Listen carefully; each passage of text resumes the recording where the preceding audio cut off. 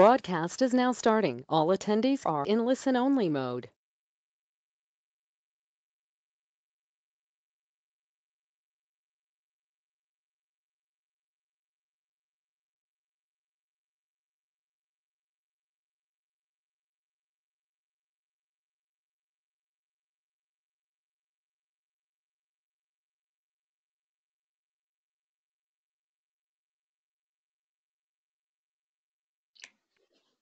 Hello everyone, this is Stéphane Dayras from uh, Rakuten Aquafadas. I am the pre-sales director and glad to be with you today to start this uh, new year. So first of all, you can use the question pane in your GoToWebinar control panel uh, on the right side of your screen if you want to interact with us. Um, you have uh, in that question pane the capability to raise any problem or connection issue or if you don't see my screen or don't hear me properly, please let us know through the question pane. And we will be initiating today a new way uh, regarding our webinars because we want to interact much more with you uh, now during our webinars.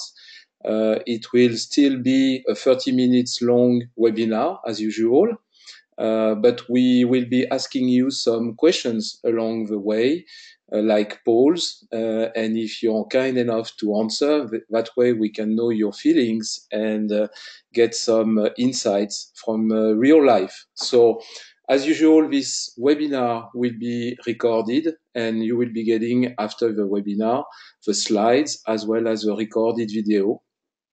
And let us start now.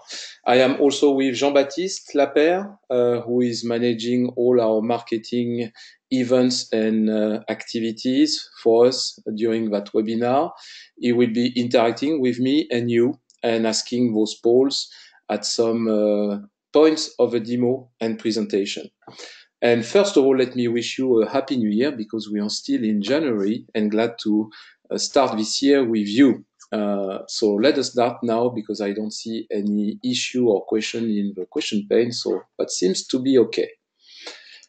All right, so we wanted to uh, start this new year by uh, speaking about the biggest, the five biggest enterprise mobile trends as we we we are following them at Rakuten Aquafadas, and we will be focusing on on these. Uh, top five biggest trends, uh, but there are much, much many others. The goal is for you to understand the evolution of the mobile market uh, because we are expert in that market for about 12 years now uh, and we continue our developments to uh, get you uh, new features new capabilities in our apps and digital content uh, and I would say that the top keyword that we could see raising last year is definitely frictionless. Uh, and that could summarize very well the global evolution of all the technologies, I would say, uh, which means a way to reduce as much as possible the uh, frictions between the end user and what he wants to achieve or reach uh, through mobile apps and I would say more globally mobile devices. So frictionless is really the key.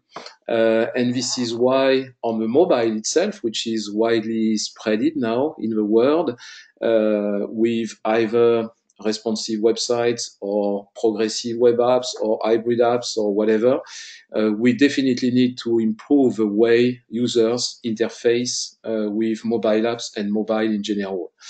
So this is why the very first trend is about the new uh, ways to uh, deploy mobile apps. Uh, we will see that in details in the slide after this one with, uh, I would say, the progressive web apps, the PWA, which is one of the top keyword, as you know, in that space. We will look as well at the need for new uh, extended analytics now to track the new user behaviors because uh, also, there are a lot of new user experiences due to the number of new devices. I would only mention the IoT, for instance, uh, space, which is uh, getting uh, uh, very wide now, and also all sorts of new user interfaces, including audio, virtual assistants, and so on.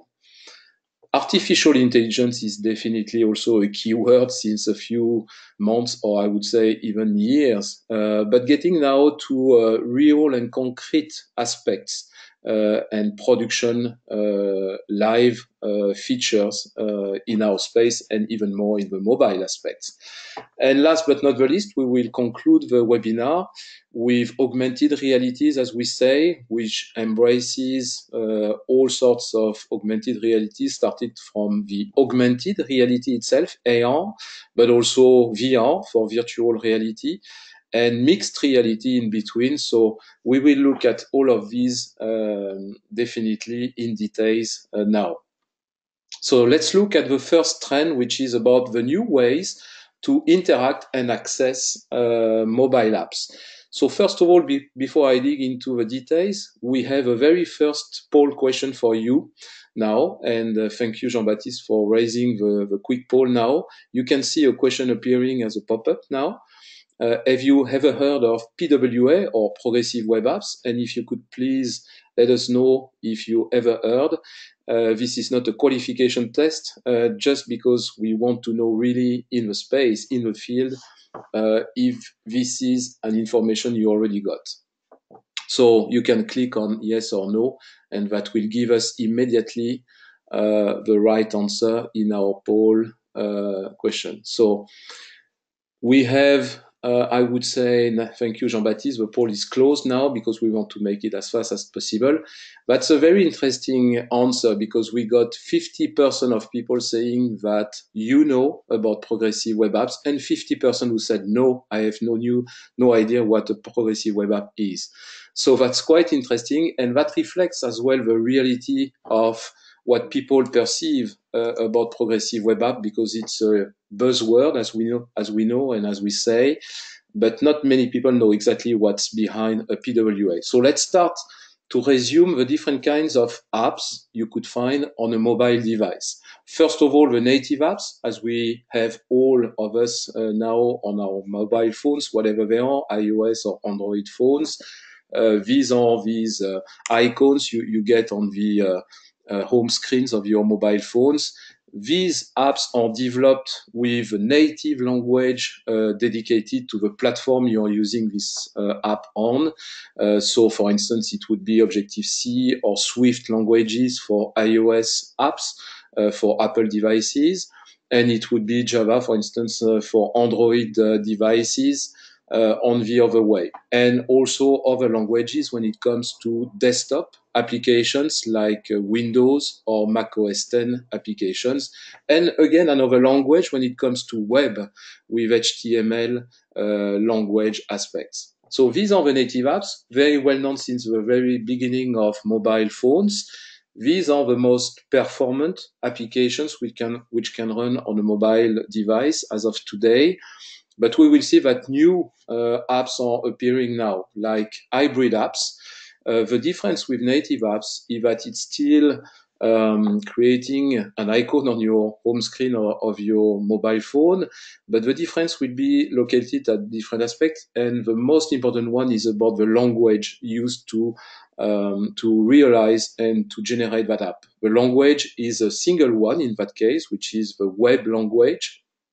So that means the HTML associated with typical JavaScript and CSS uh, languages and definitions. So that means that as a web developer, you would be able, thanks to some of the frameworks and developer tools on the market, to generate very fast uh, an, an hybrid app for mobile phones. In that case, as you understand, there is a unique branch of code uh, which is completely different from native apps where you have separate branch of codes per operating systems. So hybrid apps are, as you can imagine, faster to develop, faster to maintain, faster to evaluate. Um, but there are some drawbacks as well because native apps are still the most performant, as I said, on the market today. Hybrid apps are coming very close now to native apps, depending on the functions and services you are asking from hybrid apps. But in our case, we will be launching very soon an hybrid app, uh, which is our new next-gen uh, template application model uh, for those of you who are already customers of us. Uh, so that will be an hybrid app the advantage as well is that it will be a unified user interface. So you will have the same way to interact with this app, whatever device you're using. Uh, just a quick recap about web apps, because you probably heard about web apps. Web apps are not more than aliases or shortcuts to your favorite web page. So when you're browsing uh, uh, on a website from your mobile, you can bookmark it and create a shortcut to your uh, mobile home screen. And in that case, it will also create an icon, but which will be a simple redirection to your website. And when you click on it on the mobile home screen, it will simply open the web browser and help you to navigate through the website for those to for those to happen, for sure you need to get an internet connection at least because it will be online. It won't work offline compared to native and hybrid apps. Uh, also, you will still get uh, most of the time the menus, top bars, and and bottom bars of your browser, web browser. So this is just a simple web redirection, but this is known as web apps. And now we have, I would say, probably um, not the best of the two worlds, but almost uh, the best between native apps and web and hybrid apps, which we call progressive web apps, which, uh, to simplify, is a way to encapsulate uh, your website as far as it's a responsive website or part or a feature of your website because the goal is not forcibly to bring all the capabilities of your website uh, into that new app but the main advantage of that, in addition to the fact that this is still the same language as a web, so HTML, uh, and that your web designers and developers can use the same language to define and generate that app, the main advantage is that when you scroll uh, and navigate through your website, you could have a button which says, please install that website as a progressive web app on my mobile. It will create an icon on your mobile phone. But this icon won't be a simple redirect to the website. It will be a real uh, part or all of your website which is installed immediately to your mobile phone with additional capabilities compared to a web app because first of all it will work offline it will be reliable it will be fast and it will also enable for notifications so you'll be able in that case to receive notifications, which, as you know, is a big and great way to engage with your consumers or readers uh, based on your app. So this is definitely a, a big evolution for apps.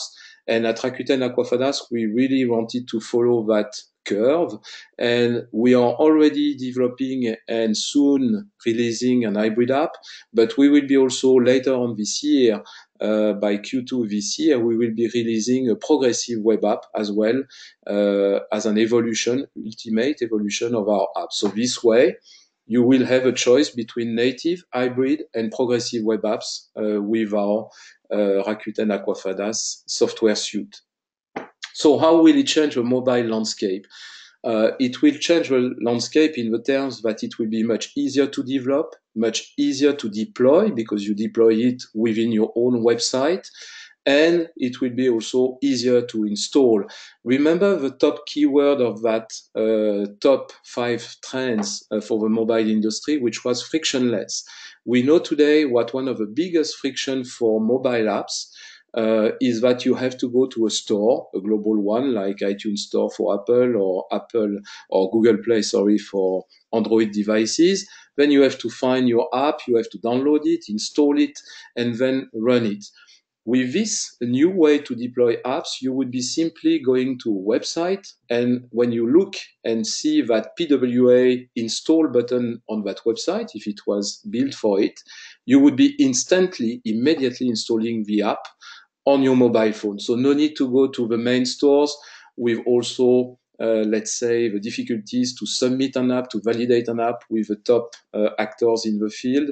Uh, the drawback as well is that you won't be advertising your app the same way because it won't be on a global worldwide store like iTunes Store or Google Play.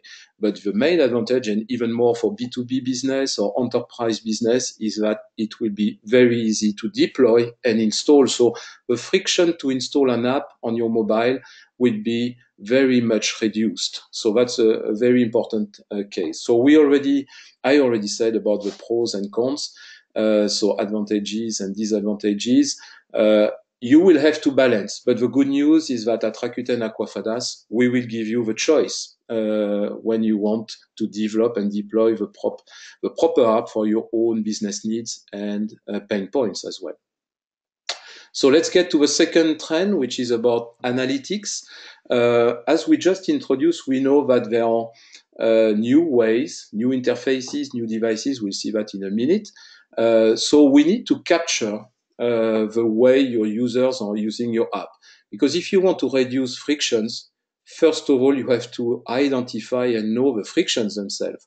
So that's why it's really good once you design and build your app, not only to create very engaging and beautiful apps and contents, which is our key uh, DNA, by the way, uh, but also you need to update, maintain, uh, that content to be live so that your users don't get rid of that content, don't get bored by your app, because you know that when they get bored by an app, they will immediately remove it from their, from their mobile phone.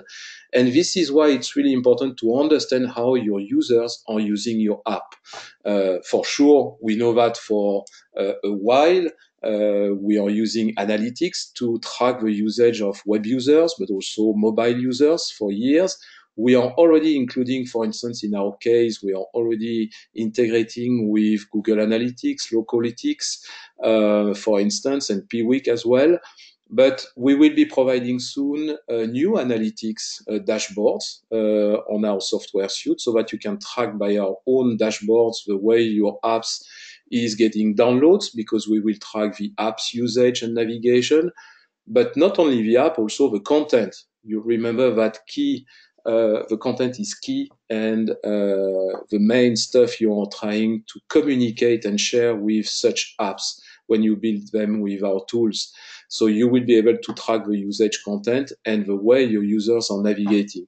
But much more than that, we need also to prepare for new users behaviors and so new analytics uh, because once users are getting used now to new devices like IoT devices, but also new user interfaces, and we'll speak about them in a minute, like conversational UIs.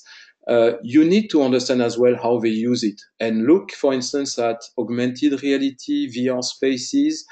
Uh, you need to track how your users are going to play with this new uh, universe. Uh, so this is why we are using we are using uh, uh, a big part of Rakuten Group analytics expertise. We have uh, big departments at Rakuten working on this for which have been working on this for years, uh, like the big data department, but also the Rakuten Institute of Technology, which is uh, assembling a, a, lot of PhD uh, researchers why do we have that expertise? Because Rakuten is handling more than 1.2 billion members uh, on the complete ecosystem of Rakuten. So we have to understand how users are using our services, products, and technologies to make it even more better.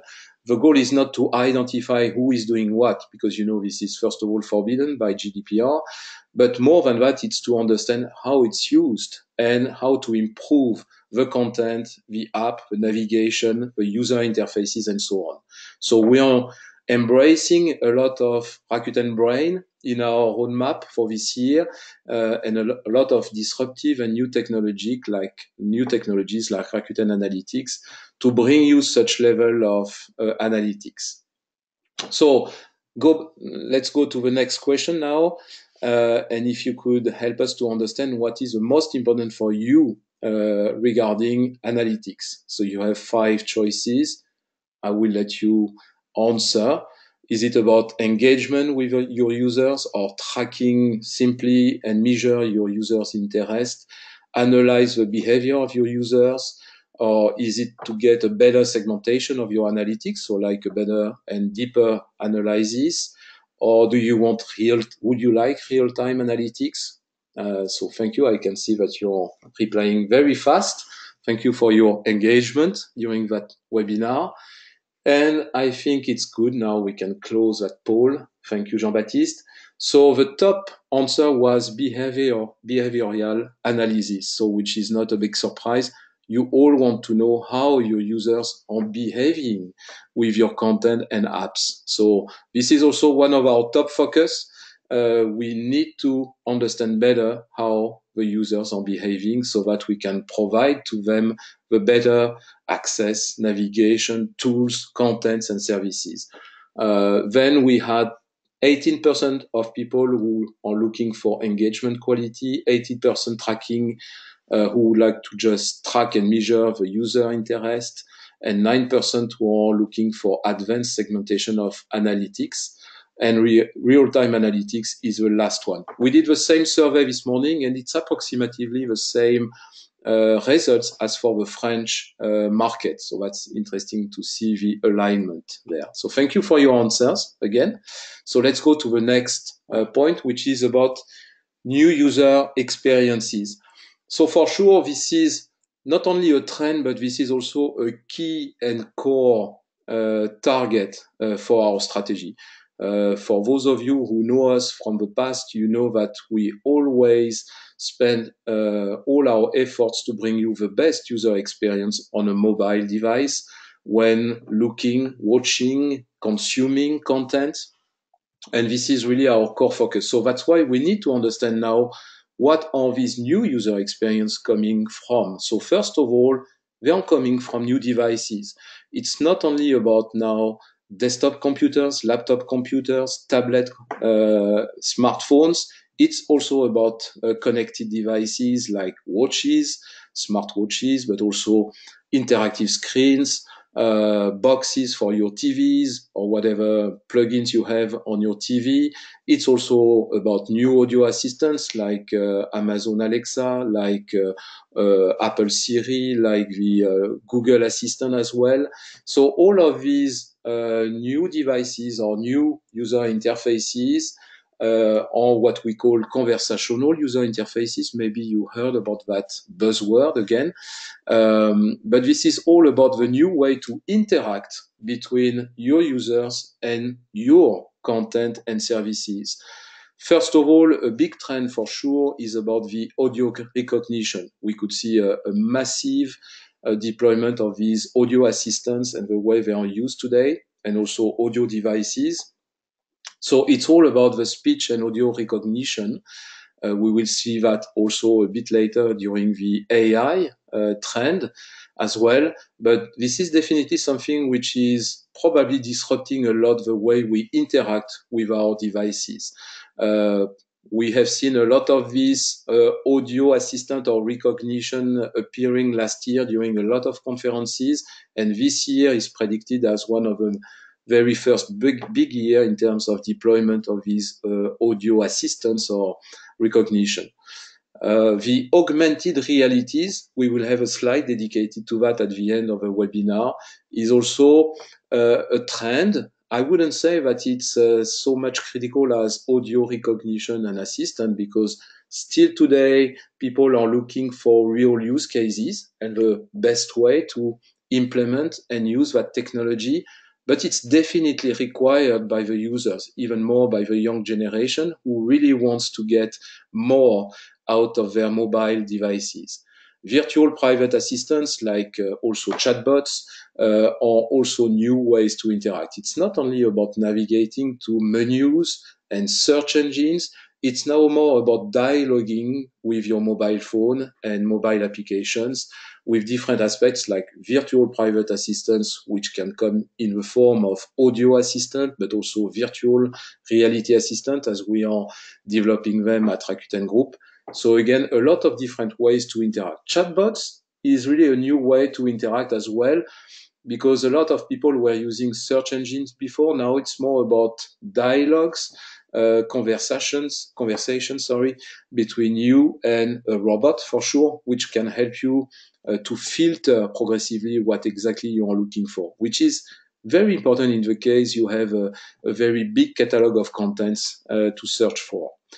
And there are two other ways as well to, uh, let's say, improve uh, the user experience and the ways we are really working at uh, deeply at Rakuten Aquafadas, which is first of all to improve the way to disseminate the content uh, to your users. It's not only about getting PDF or XML content or enrich content and pushing it to the users. Now your users want really a personalized content for their own profile and their own expectations. So this is why at Rakuten we already have recommendations engines which are coming on top, uh, in addition, sorry, of search engines. So this is already used in other business units like Rakuten TV, Kobo, and others. And we are implementing that recommendation engine now at Rakuten Aquafadas within our app so that your users, once they consumed and read a lot of contents, they will be proposed uh, the best related the next content uh, when they uh, go to, to the app. The dynamic content is more about extracting the proper content from different sources that you have and different contents that you already have and generate dynamically the proper content as well, which will fit exactly the need of your user. So again, personalization, dynamic automation, and recommendation are must have today for communication apps. So we have a new question for you now. And Jean-Baptiste will pop it up. Thank you, Jean-Baptiste. And we are really keen to know what among all these uh, new improvements for user experience are the most important for you. So thank you again for your answers. I could see the results coming up now. All right, so we can see, uh, let's say, two top ones um, thank you, Jean-Baptiste. Uh, so the real top one is, and we, we love that answer for sure, is about content personalization and recommendation. So we, we appreciate because this is one of the top strategy that we defined uh, for 2019 at Rakuten Aquafadas. And uh, watch us because you will be getting some new features and services very soon uh, in that category. The second the second aspect you're looking for is about augmented reality. Uh, so again, there is a big hype, a big request for it, and we'll be glad to invent new use cases with you uh, on that one. So let's go to the the one before the last one, and we are on time. Uh, so the artificial intelligence. So I don't think I need to present you what is AI, but more why do we need AI? So artificial intelligence was longly perceived as a threat um, because we all have seen some movies or uh, science fiction books or whatever on this aspect that uh, computers uh, will replace human beings. This is not at all what AI is providing and will be providing also in the future. AI is just there to assist you and automate as much as the repetitive task you have in a day or within your job. And it's only to assist you so that you can free your brain to create, uh, to create and generate. And this is really the, the top mantra at Rakuten because Rakuten uh, also has uh, an AI PD department dedicated to uh, artificial intelligence. And Rakuten is really keen at developing tools in AI which will help your journey every day along apps, content, services around e-commerce, but also digital content as we provide. So you need AI to improve uh, the time you, you get to uh, focus on what you should do, which is thinking, creating, and launching new projects. And in AI, we can distinguish several uh, subcategories. The first one is machine learning.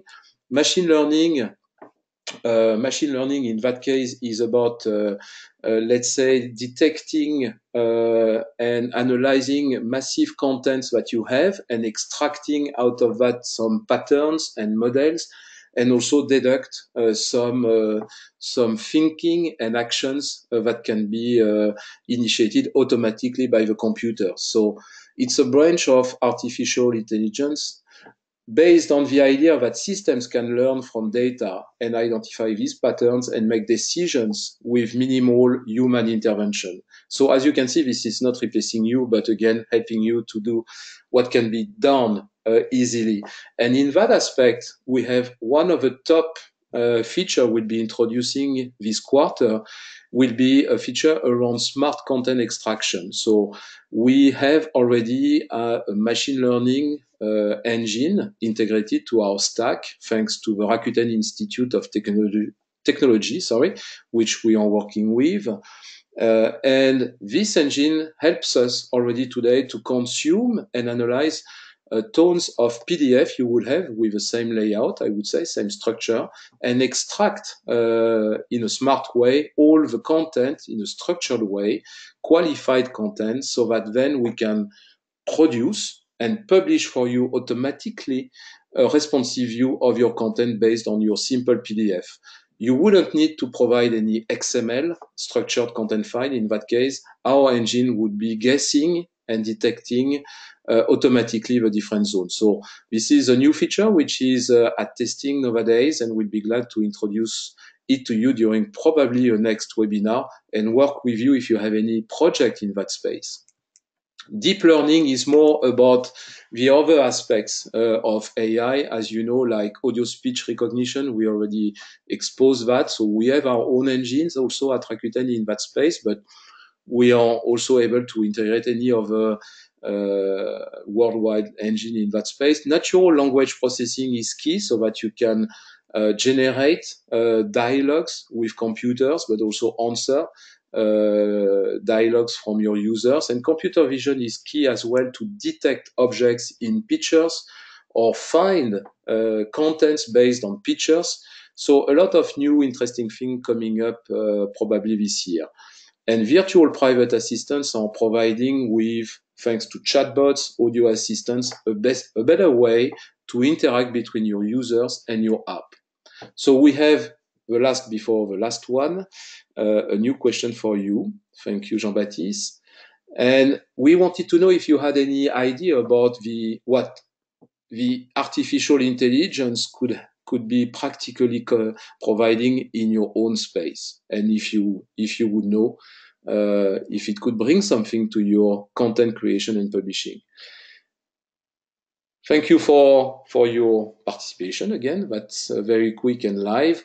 And I could see that uh, the biggest answer is no. Uh, so you don't know yet what uh, intelligence arti uh, artificial intelligence could provide to you. And this is why we have also to provide you with real cases, real use cases, real samples and prototypes as soon as we release them. And that will be soon. We'll be glad to show that to you. And then you'll, I'm sure you'll have a better idea. So last slide, I'm a bit running a bit late, so trying to do that as quick as I can. Uh, the last slide now is about augmented realities. So as you know, there are three augmented realities today. I think it's important to stop just one minute to define them clearly because I'm sure that if, if I would ask you exactly what it is, no one would have exactly the same answer. So this is still a very moving field. Augmented reality, uh, augmented reality really is a way to add digital elements to a live view, often when using the camera on your smartphone. Uh, and that could be used, for instance, you all know about the famous Pokemon Go uh, game, uh, which was using that, or also Snapchat, adding whatever sorts of uh, drawings on top of your pictures. Uh, so augmented reality is using mainly your mobile phones because they already include augmented reality libraries today on iOS as well as Android devices, which is good because it will help to develop that space. But still, we don't have real good use cases except in learning industries for sure, because you can this way look at whatever supply chain or engine and get additional information on top of it through your mobile phone or also glasses, uh, special glass glasses, which are coming in that space. Virtual reality uh, is a complete different immersion because you, you will be wearing uh, you will be use, you wearing sorry a VR a VR device like for instance HTC is building one Vive, Oculus, Go, and Rift uh, have their own uh, devices. Google Cardboard as well is one of them. Uh, these are devices which will bring you totally immersive in a 3D uh, full virtual world. So we are not anymore in the real world, we are in the full real world, but you need that kind of device to get into that world. And mixed reality is really a combination of both AR and VR, uh, which means real world and digital objects where you can interact with because it's using also a new uh, new kinds of uh, devices like the famous Microsoft uh, HoloLens uh, or other glasses because that's not anymore um, a big um, big gears, but that's glasses in that case. And in that case, you can have both virtual and real worlds and interact with 3D objects in this way. Why and how is it linked to mobility? Uh, simply because uh, this is used mainly uh, on mobile devices, so glasses and mobile phones, as we just said, uh, these kind of uh, mobile devices. So this is really key to the next generation of um, innovation, disruption uh, at mobility, and we are really working uh, hard on that. So we are already integrating some augmented reality engines in our stack. But more than any technology, uh, we really need to invent with you the next use cases. So we would be very glad to get uh, your feedback after this webinar and get interaction with you to understand where it could help you uh, and bring some uh, additional use cases very valuable. For instance, augmented reality, in addition to the training and e-learning um, uh, vertical spaces, could be used also in sales enablement because if you're selling, for instance, uh, let's say furnitures for your home, like IKEA was successfully doing with its very first AR app, uh, you could immediately visualize the furniture within your space and home in 3D and see if it fits and see if it uh, looks well compared to all the rest of your of your home and so on. So you could use that and apply that to many other uh, aspects and we, would be glad to to get your feedback. So but before getting your detailed feedback we would just like to know and this is the very last question and part of the webinar how important would be the introduction of augmented reality within your content strategy? And that will be the very last question. Thank you again for your participation, active participation and engagement. It's, I'm glad to see that uh, you're with us today. So I think it's good. We can close the last poll now. And 50% of you said that uh, it would be a bonus uh, in terms of UX uh, immersion of a user. So for sure, you see uh, the bonus uh, for this technology. 21% said I don't know, I need to learn more on this technology. And you're definitely right. We all need to learn from real aspects, from real practical life examples and use cases uh, to make it the best use. Uh, but we already started to integrate that technology. We just don't want to release it as a technology feature. We want to release it as a business value to your own business. So thank you again for your participation. If uh, some of you, and sorry for being late again, but that was an important topic, I think.